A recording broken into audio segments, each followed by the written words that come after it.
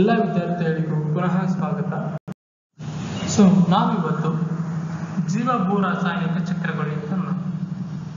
ಜೀವ ಭೂ ರಾಸಾಯನಿಕ ಚಕ್ರಗಳೆಂದರೆ ಜೀವಮಂಡಲದಲ್ಲಿ ಜೈವಿಕ ಮತ್ತು ಅಜೈವಿಕ ಘಟಕಗಳ ನಡುವೆ ಪರಸ್ಪರ ನಡೆಯುತ್ತಿರುವ ನಿರಂತರ ಪ್ರತಿ ಪ್ರಕ್ರಿಯೆಗಳು ಜೀವಗಳ ಕ್ರಿಯಾತ್ಮಕ ಮತ್ತು ಸ್ಥಿರವಾಗಿರುವಂತೆ ಮಾಡಿವೆ.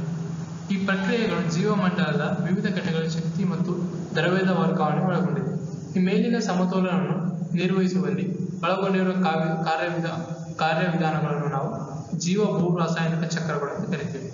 ಮೊದಲಿಗೆ ಜಲಚಕ್ರ ಯಾವ ರೀತಿ ವರ್ಕ್ ಆಗುತ್ತೆ ನೋಡೋಣ. ಸೊ ನಮಗೇನು ಗೊತ್ತು? ಜಲಮೂಲಗಳಿಂದ ನೀರು ಆವಿಯಾಗಿ, ಅನಂತರ ಆವಿಯು ಘನಭವಿಸಿ ಮೋಡವಾಗಿ ಮಳೆಯನ್ನು ಸುರಿಸುತ್ತದೆ. ಇದು ನಮಗೇನು ಗೊತ್ತು? ಬೇಸಿಕಲಿ ಈಗ ಮಳೆ ಯಾವ ರೀತಿ ಆಗುತ್ತೆ ಅಂತ ಗೊತ್ತಿದೆ. ಆದರೆ, ನಾವು ಸಮುದ್ರ ಮತ್ತು ಸಾಗರಗಳು ಬತ್ತಿ ಹೋಗಿರುವುದನ್ನು ನೋಡಲಾಗುವುದಿಲ್ಲ. ಈಗ ನೀರು ಯಾವಾಗುತ್ತೆ ಅಂದ್ರೆ ಈಗ ಫುಲ್ ನೀರು ಪೂರ್ತಿ ಆವಿ ಆಗುತ್ತಾ? ಇಲ್ಲ. ಏನಕ್ಕಂದ್ರೆ ಸಮುದ್ರದ ಮಟ್ಟ ಅಷ್ಟೇ ಇರುತ್ತೆ. ಕಡಿಮೆ ಆಗಲ್ಲ. ಹಾಗಾದರೆ ಸಮುದ್ರದಿಂದ ಆವಿಯಾದ ನೀರು ಪುನಃ ಅಲ್ಲಿಗೆ ಹೇಗೆ ಹಿಂದಿರುಗುತ್ತದೆ ಅನ್ನೋದನ್ನು ನೋಡೋಣ. ನೀರು ಆವಿಯಾಗಿ ಮೇಲೇರಿ ಘನೀಭವಿಸುತ್ತದೆ ಮಳೆಯಾಗಿ ನೆಲದ ಮೇಲೆ ಬಿದ್ದು ನಂತರ ನದಿಗಳ ಮೂಲಕ ಸಮುದ್ರಕ್ಕೆ ಹರಿಯುವ ಸಂಪೂರ್ಣ ಕ್ರಿಯೆಯನ್ನು ಜಲಚಕ್ರ ಎನ್ನುವರು. ಸೊ ನೀರು ಇಲ್ಲಿಂದ ಆವಿಯಾಗಿ ಮತ್ತೆ ನೆಲದ ಮೇಲೆ ಮಳೆಯಾಗಿ ನದಿಯ ಮುಖಾಂತರ ಮತ್ತೆ ಸಮುದ್ರವನ್ನು ಸೇರುವುದಕ್ಕೆ ನಾವು ಜಲಚಕ್ರ ಅಂತ ಹೇಳ್ತೇವೆ.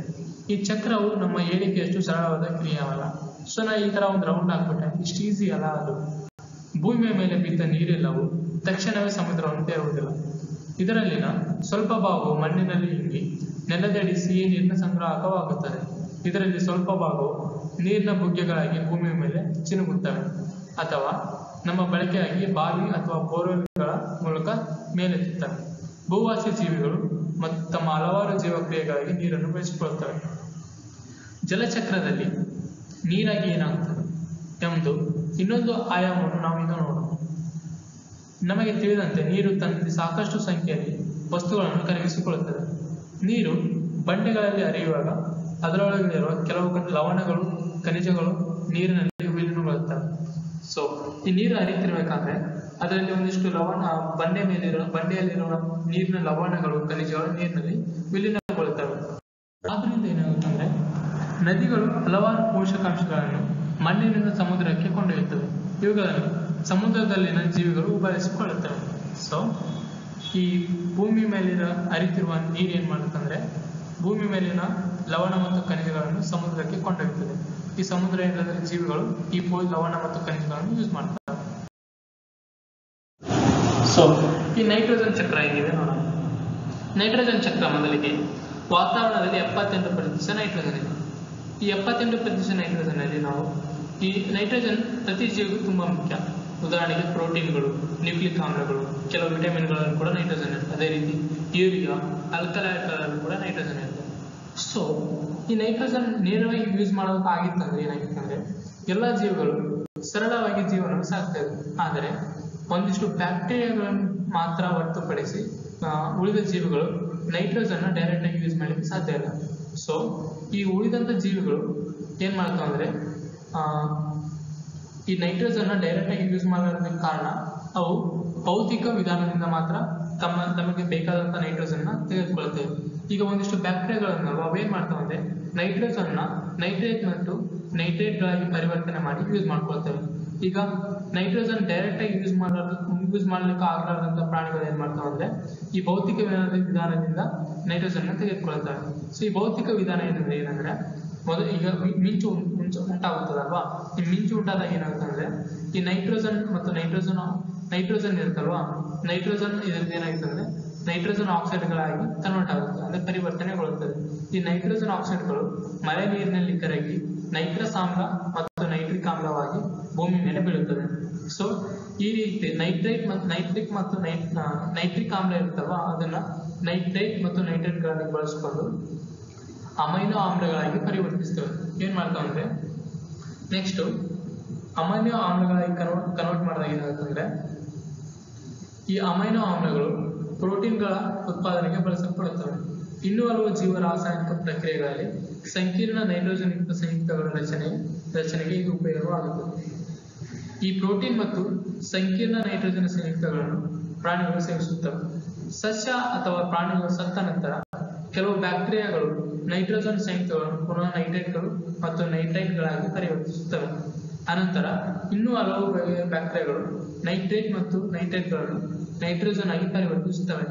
ಈ ರೀತಿ ನೈಟ್ರೋಜನ್ ಚಕ್ರ ಚಕ್ರದಲ್ಲಿ ವಾತಾವರಣದಲ್ಲಿರುವ ನೈಟ್ರೋಜನ್ ಧಾತುವಿನ ರೂಪದಿಂದ ಸರಳ ಅಣುಗಳಾಗಿ ನೀರು ಮತ್ತು ಮಣ್ಣನ್ನು ಸೇರುತ್ತದೆ ಸೇರಿದ ನಂತರ ದೇಹದಲ್ಲಿ ಸಂಕೀರ್ಣ ಅಣುಗಳಾಗಿ ಮಾರ್ಪಟ್ಟು ಪುನಃ ಸರಳ ನೈಟ್ರೋಜನ್ ರೂಪಿಗೆ ಕನ್ವರ್ಟ್ ಆಗುತ್ತೆ. ಸೊ ಇಲ್ಲಿ ನೋಡ್ಬೋದು, ಮೊದಲಿಗೆ ವಾಯುಮಂಡಲದಲ್ಲಿರುವ ನೈಟ್ರೋಜನ್ ಇರುತ್ತೆ. ಸೊ ಈ ವಾಯುಮಂಡಲದ ನೈಟ್ರೋಜನ್ ನೈಟ್ರೋಜನ್ ಸ್ಥಿರೀಕರಣಗಳಿಂದ ಸಸ್ಯ ಮತ್ತು ಹಸಿರು ಸಸ್ಯಗಳಲ್ಲಿ ಹೋಗ್ತದೆ. ಇನ್ನೊಂದು, ಇನ್ನೊಂದಿಷ್ಟು ಈ ಹಸಿರು ಸಸ್ಯಗಳಿಂದ ಅಮೋನೀಕರಣ ಆಗಿ ಅಮೋನಿಯಾ ಫಾರ್ಮ್ ಆಗುತ್ತದೆ. ಈ ಜೀವ ಜೀವದ್ರವ್ಯ ಪ್ರಾಣಿಗಳು ಕೂಡ ಅಮೋನಿಯಾ ಯೂಸ್ ಮಾಡ್ತವೆ ಈ ಅಮೋನಿಯಾ ಸತ್ ಭೂಮಿ ಜೀವಗಳ ಸತ್ ನಂತರ ಏನಾಗುತ್ತೆ ಅಂದ್ರೆ, ಈ ಅಮೋನಿಯಾದಲ್ಲಿರುವಂತಹ ನೈಟ್ರ ನೈಟ್ರೋಜನ್ ಮತ್ತೆ ನೈಟ್ರೇಟ್ ಆಗಿ ಕನ್ವರ್ಟ್ ಮಾಡ್ತಾರೆ. ಮತ್ತೆ ನೈಟ್ರೇಟ್ಗಳನ್ನಾಗಿದ್ದು ಡಿನೈಟ್ರೇಟ್ ಮಾಡಿ, ಮತ್ತೆ ನೈಟ್ರೋಜನ್ ಆಗಿ ಕನ್ವರ್ಟ್ ಮಾಡ್ತಾರೆ. ನೆಕ್ಸ್ಟ್ ಈಗ ನಾವು ಕಾರ್ಬನ್ ಚಕ್ರ ಯಾವ ರೀತಿ ವರ್ಕ್ ಆಗ್ತದೆ? ಕಾರ್ಬನ್ ಡೈಆಕ್ಸೈಡ್ ಚಕ್ರ ಕಾರ್ಬನ್ ಚಕ್ರ ಯಾವ ರೀತಿ ವರ್ಕ್ ಆಗ್ತದೆ? ಮೊದಲಿಗೆ ಭೂಮಿಯ ಮೇಲೆ ಕಾರ್ಬನ್ ವಿವಿಧ ರೂಪದಲ್ಲಿ ಕಂಡುಬರ್ತದೆ ಉದಾಹರಣೆಗೆ ವಜ್ರ ಮತ್ತು ಗ್ರಾಫೈಟ್ಗಳ ಧಾತುವಿನ ರೂಪದಲ್ಲಿ ಸಿಗುತ್ತದೆ. ವಜ್ರ ಮತ್ತು ಗ್ರಾಫೈಟ್. ಸೊ ಗ್ರಾಫೈಟ್ ಕಾರ್ಬನ್ನ ಒಂದು ಧಾತು. ಸೊ ಸಂಯುಕ್ತ ರೂಪದಲ್ಲಿ ವಾತಾವರಣದಲ್ಲಿ ಕಾರ್ಬನ್ ಡೈಆಕ್ಸೈಡ್ ವಿವಿಧ ಖನಿಜಗಳಲ್ಲಿ ಕಾರ್ಬೋನೇಟ್ಗಳು ಮತ್ತು ಕಾರ್ಬೋನೇಟ್ಗಳು ಮತ್ತು ಹೈಡ್ರೋಜನ್ ಕಾರ್ಬೋನೇಟ್ ಲವಣದಲ್ಲಿ ರೂಪದಲ್ಲಿ ಇರುತ್ತವೆ. ಸೊ ಕಾರ್ಬನ್ ಯಾವ ರೂಪದಲ್ಲಿ ಇರುತ್ತೆ? ವಜ್ರ ಮತ್ತು ಗ್ರಾಫೈಟ್ ರೂಪ, ವಾತಾವರಣದಲ್ಲಿ ಕಾರ್ಬನ್ ಡೈಆಕ್ಸೈಡ್ ಖನಿಜಗಳಲ್ಲಿ ಕಾರ್ಬೋ ಕಾರ್ಬೋನೇಟ್ಗಳು ಹೈಡ್ರೋಜನ್ ಕಾರ್ಬೋನೇಟ್ಗಳು ಈ ಎಲ್ಲಾ ಜೀವಿಗಳಿಗೂ ಕಾರ್ಬನಿಕ್ ಅಣುಗಳಿಂದ ಪ್ರೋಟೀನ್ಗಳು, ಕಾರ್ಬೋಹೈಡ್ರೇಟ್ಗಳು, ಕೊಬ್ಬು ನ್ಯೂಕ್ಲಿಕ್ ಆಮ್ಲ ವಿಟಮಿನ್ಗಳಿಂದ ಆಗಿದೆ ಸೊ ಇವೆಲ್ಲ ಅಂಶಗಳು ಕಾರ್ಬನ್ ತುಂಬಾ ಉಪಯೋಗವಾಗಿದೆ. ಹಲವು ಜೀವಿಗಳಲ್ಲಿ ಅಂತರ್ಕಂಕಾಲ ವ್ಯವಸ್ಥೆ ಮತ್ತು ಬಹಿರ್ಕಂಕಾಲ ವ್ಯವಸ್ಥೆಗಳು ಕಾರ್ಬೋನೇಟ್ ಲವಣಗಳಿಂದ ಆಗಿದೆ ಸೊ ಅಂತರ್ಕಂಕಾಲ ಮತ್ತು ಬಹಿರ್ಕಂಕಾಲ ಎರಡು ವ್ಯವಸ್ಥೆಗಳು ಕಾರ್ಬೋನೇಟ್ ಲವಣಗಳಿಂದ ಮಾಡ್- ಮಾಡ್- ಮಾಡಲ್ಪಟ್ಟಿರುತ್ತದೆ ಅದೇ ರೀತಿ ಕ್ಲೋರೋಫಿಲ್ ಅನ್ನು ಹೊಂದಿರುವ ಎಲ್ಲಾ ಜೀವಿಗಳಲ್ಲಿ ಸೂರ್ಯನ ಬೆಳಕಿನಲ್ಲಿ ನಡೆಸುವ ದ್ಯುತಿ ಸಂಶ್ಲೇಷಣೆ ಕ್ರಿಯೆಯ ಮೂಲ ಮೂಲ ಏನಂದ್ರೆ ಕಾರ್ಬನ್ ಡೈಆಕ್ಸೈಡ್ ಸೊ ಈ ದ್ಯುತಿ ಸಂಶ್ಲೇಷಣೆಗೆ ಇಂಪಾರ್ಟೆಂಟ್ ಏನು ಬೇಕಂದ್ರೆ ಕಾರ್ಬನ್ ಡೈಆಕ್ಸೈಡ್ ಬೇಕು. ಸೊ ಈ ಕಾರ್ಬನ್ ಕಾರ್ಬನ್ ಡೈಆಕ್ಸೈಡ್ನಿಂದ ಕಾರ್ಬನ್ ಯೂಸ್ ಮಾಡಿಕೊಂಡು ಅವು ತಮ್ಮ ಆಹಾರ ಅಂದ್ರೆ ಗ್ಲೂಕೋಸ್ ಆಗಿ ಕನ್ವರ್ಟ್ ಮಾಡ್ತಾರೆ. ಈ ಗ್ಲೂಕೋಸ್ ಏನಾಗ್ತಂದ್ರೆ ಈ ಗ್ಲೂಕೋಸ್ ಅಣುಗಳು ನಂತರ ಇತರೆ ವಸ್ತುಗಳಿಗೆ ಪರಿವರ್ತನೆ ಆಗ್ತದೆ. ಈ ಗ್ಲೂಕೋಸ್ ಏನಾಗ್ತಂದ್ರೆ ಹಣ್ಣಿನ ರೂಪದಲ್ಲಿ, ಎಲೆಯ ರೂಪದಲ್ಲಿ ನೆಕ್ಸ್ಟ್ ಹೂವಿನ ರೂಪದಲ್ಲಿ ಕನ್ವರ್ಟ್ ಆಗ್ತದೆ. ಇಲ್ಲವೇ? ಜೈವಿಕ ಕ್ರಿಯೆಗೆ ಅಗತ್ಯವಾದ ಪ್ರಮುಖ ಅಣುಗಳ ಸಂಶ್ಲೇಷಣೆಗೆ ಶಕ್ತಿಯನ್ನು ಒದಗಿಸಲು ಬಳಕೆ ಆಗುತ್ತವೆ. ಸೊ ಗ್ಲೂಕೋಸ್ ಅನ್ನು ಶಕ್ತಿ ಬಿಡುಗಡೆಯಾಗಿ ಬಳಸಿಕೊಳ್ಳಲು ಉಸಿರಾಟದ ಪಾತ್ರವು ಇರುತ್ತದೆ. ಗ್ಲೂಕೋಸ್ ಪುನಃ ಕಾರ್ಬನ್ ಡೈಆಕ್ಸೈಡ್ ಆಗುವಲ್ಲಿ ಆಕ್ಸಿಜನ್ ಬಳಕೆ ಆಗಬಹುದು ಅಥವಾ ಆಗದೇ ಇರಬಹುದು. ಈ ಗ್ಲೂಕೋಸ್ ಯೂಸ್ ಮಾಡಿರ್ತೀವಲ್ಲ, ನಾವು ಯಾವುದೇ ಒಂದು ಜೀವಿ. ಮತ್ತೆ ಗ್ಲೂಕೋಸ್ ಜೊತೆ ಆಕ್ಸಿಜನ್ ಸೇರಿದ್ರೆ ಈ ಆಕ್ಸಿ, ಈ ಗ್ಲೂಕೋಸ್ ಮತ್ತೆ ಕಾರ್ಬನ್ ಡೈಆಕ್ಸೈಡ್ ಆಗಿ ಕನ್ವರ್ಟ್ ಆಗುವ ಸಾಧ್ಯತೆ ಇರುತ್ತದೆ. ಮತ್ತೆ ಕಾರ್ಬನ್ ಡೈಆಕ್ಸೈಡ್ ಆಗಿ ಇದು ಮತ್ತೆ ಸಸ್ಯಗಳ ದ್ಯುತಿ ಸಂಶ್ಲೇಷಣೆ ಕ್ರಿಯೆಗೆ ಮತ್ತೆ ಹೋಗ್ತದೆ. ಮತ್ತೆ ಕಾರ್ಬನ್ ಡೈಆಕ್ಸೈಡ್ ವಾತಾವರಣಕ್ಕೆ ಸೇರುತ್ತದೆ. ಇದಲ್ಲದೆ ಮಾನವನ ಉಸಿರಾಟ ಕ್ರಿಯೆ ಅಲ್ಲದೆ, ಜೀವಿಗಳ ಉಸಿರಾಟ ಕ್ರಿಯೆ ಅಲ್ಲದೆ, ದಹನ ಕ್ರಿಯೆಯಿಂದಲೂ ಕೂಡ ನಾವು ಕಾರ್ಬನ್ ಡೈಆಕ್ಸೈಡ್ನ ವಾತಾವರಣಕ್ಕೆ ಸೇರಿಸ್ತೇವೆ. ಉದಾಹರಣೆಗೆ, ದಹನ ಕ್ರಿಯೆಯಲ್ಲಿ ಸಾಗ ಏನು, ನಾವು ಇಟ್ಟಿಗೆಯನ್ನು ಕಟ್ಟಿಗೆಯನ್ನು ಸುಡ್ತೀವಿ. ನೆಕ್ಸ್ಟ್ ಅನೇಕ ಅನಿಲಗಳನ್ನು ಸುಡ್ತೀವಿ. ಉದಾಹರಣೆಗೆ L P G gas cylinder. ಅದನ್ನು ಕಟ್ಟಿಗೆ ಸುಡೋದ್ರಿಂದ ಕಾರ್ಬನ್ ಡೈಆಕ್ಸೈಡ್ ರಿಲೀಸ್ ಆಗುತ್ತೆ. ಈ ಕಲ್ಲಿದ್ದಲು ಉಳಿಸೋದ್ರಿಂದ ಕಾರ್ಬನ್ ಡೈಆಕ್ಸೈಡ್ ಬರುತ್ತೆ. ಪೆಟ್ರೋಲಿಯಂ ಉಳಿಸೋದ್ರಿಂದ ಕಾರ್ಬನ್ ಡೈಆಕ್ಸೈಡ್ ರಿಲೀಸ್ ಮಾಡ್ತೀವಿ. ಇವೆಲ್ಲ ಏನ್ ಮಾಡ್ತಂದ್ರೆ ವಾತಾವರಣದಲ್ಲಿನ ಕಾರ್ಬನ್ ಡೈಆಕ್ಸೈಡ್ ಪ್ರಮಾಣವನ್ನು ಹೆಚ್ಚಿಗೆ ಮಾಡ್ತಾರೆ. ನಾವು ಈ ಕಾರ್ಬನ್ ಡೈಆಕ್ಸೈಡ್ ಪ್ರಮಾಣ ಹೆಚ್ಚಾದಂತೆ ಈ ಹಸಿರು ಹಸಿರು ಈಗ ಮರಗಿಡಗಳನ್ನು ಬೆಳೆಸೋದು ಜಾಸ್ತಿ ಮಾಡಬೇಕು. ಇಲ್ಲಾಂದ್ರೆ ಏನಾಗುತ್ತಂದ್ರೆ ಈ ಮರಗಿಡಗಳು ಕಡಿಮೆ ಆದ ಆಗ್ತಾ ಹೋದಂತ ಏನಾಗುತ್ತಂದ್ರೆ, ಈ ಕಾರ್ ಕಾರ್ಬನ್ ಡೈಆಕ್ಸೈಡ್ ವಾತಾವರಣದಲ್ಲಿ ಜಾಸ್ತಿ ಇರ, ಜಾಸ್ತಿ ಉಳ್ಕೊಳ್ಳುತ್ತೆ. ಈ ಕಾರ್ಬನ್ ಡೈಆಕ್ಸೈಡ್ ಜಾಸ್ತಿ ಉಳ್ಕೊಂಡ್ರೆ ಏನಂತಂದ್ರೆ ಭೂಮಿಯ ಮೇಲ್ಮೈ ತಾಪಮಾನ ಜಾಸ್ತಿ ಆಗ್ತಾ ಹೋಗ್ತದೆ. ಸೊ ಈಗ ನೆಕ್ಸ್ಟ್ ಹಸಿರುಮನೆ ಪರಿಣಾಮ ಅಂದ್ರೆ ಅಂತ ನೋಡೋಣ ಸೊ ಹಸಿರುಮನೆ ಪರಿಣಾಮ ಅಂದ್ರೆ ಸೊ ನೀವು ಚಟುವಟಿಕೆ ಹದಿನಾಲ್ಕು ಪಾಯಿಂಟ್ ಒಂದರಲ್ಲಿ ಅಂತಂದ್ರೆ ಏನ್ ಮಾಡಿದ್ರೆ, ಒಂದು ಬೀಕರ್ ಅಲ್ಲಿ ಥರ್ಮೋಮೀಟರ್ ಟೆಂಪ್ರೇಚರ್ ಚೆಕ್ ಮಾಡಿದ್ವಿ ವಾಟರ್ ಅಲ್ಲಿ ಇಟ್ಟು ನೆಕ್ಸ್ಟ್ ಮಣ್ಣಿನಲ್ಲಿ ಇಟ್ಟು ನೀರು ಚೆಕ್ ಮಾಡಿದ್ವಿ. ನೆಕ್ಸ್ಟ್ ಒಂದು ಖಾಲಿ ವಾಟರಲ್ಲಿ ಒಂದು ಥರ್ಮೋಮೀಟರ್ ಇಟ್ಟು ಟೆಂಪ್ರೇಚರ್ ಚೆಕ್ ಮಾಡಿದ್ವಿ. ಅದರಿಂದ ಅಂಕಿಅಂಶ ಪಡೆದ್ರಿಂದ ಗಾಜು ಶಾಖವನ್ನು ಹಿಡಿದುಕೊಳ್ಳುತ್ತದೆ ಅಂದ್ರೆ ಗಾಜು ಏನಿರುತ್ತಲ್ವ, ಈ ಗಾಜಿನ ಬಾಟಲ್ ಏನಿರುತ್ತಲ್ವ, ಅದು ಶಾಖವನ್ನು ಹಿಡಿದಿಟ್ಟುಕೊಳ್ಳುತ್ತೆ. ಅಂದ್ರೆ ಬೀಕರ್ ಇರುತ್ತಲ್ವ, ಅದು ಶಾಖವನ್ನು ಹಿಡಿದಿಟ್ಟುಕೊಳ್ಳುತ್ತೆ. ಆದ್ದರಿಂದ ಏನಾಗುತ್ತೆ ಅಂದ್ರೆ ಹೊರಗಿನದಕ್ಕಿಂತ ಗಾಜಿನ ಮುಚ್ಚಿಗೆ ಒಳಗೆ ತಾಪ ಹೆಚ್ಚಾಗಿರುತ್ತದೆ. ಸೊ ಈ ಗಾಜಿನ ಒಳಗೆ ಜಾಸ್ತಿ ಟೆಂಪರೇಚರ್ ಇರುತ್ತೆ. ಈ ತತ್ವವನ್ನು ಬಳಸಿಕೊಂಡು ಚಳಿಗಾಲದ ಶೀತ ಹವಾಗುಣದಲ್ಲಿ ಉಷ್ಣವಲಯದ ಸಸ್ಯಗಳನ್ನು ಬೆಚ್ಚಗಿಡಲಾಗುತ್ತದೆ.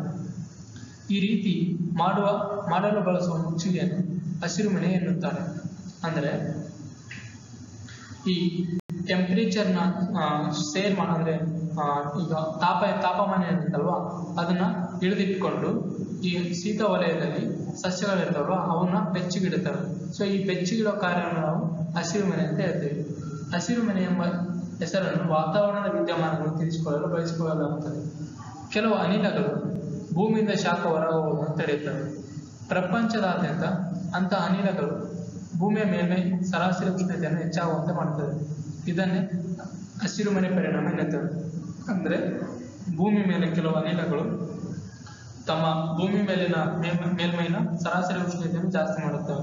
ಸೊ ಈ ತರ ಉಷ್ಣತೆಯನ್ನು ಜಾಸ್ತಿ ಮಾಡುವಂತ ಒಂದಿಷ್ಟು ಹಸಿರು ಅನಿಲಗಳಿಗೆ ನಾವು ಮಾಡೋದ್ರಿಂದ ಹಸಿರುಮನೆ ಪರಿಣಾಮ